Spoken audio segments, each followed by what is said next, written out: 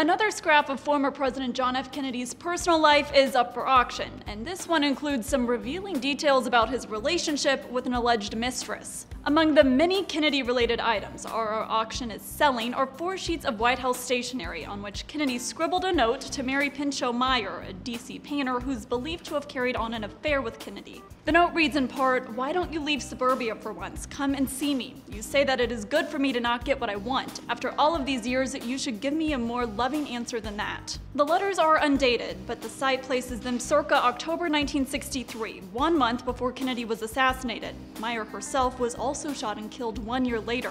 Her murder was never solved, a fact that's launched many conspiracy theories. Bidding for the letters is expected to reach $30,000, so you'll need deep pockets to have a shot at this piece of Kennedy memorabilia. For Newsy, I'm Katie Link.